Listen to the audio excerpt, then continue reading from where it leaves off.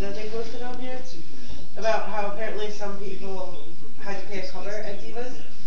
It's like a ten dollar cover, but they were waiving it if you're dressed as a zombie. I guess some people had to pay the cover, and um, it says, "Hello, my lovely zombies. I hope you had fun last night. I want to sincerely apologize for the mix-up at Divas.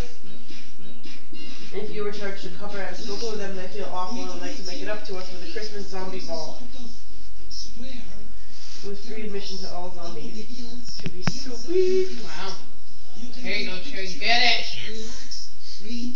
But then there's a bunch of people. Trigger, you're gonna go blind. What? Get it.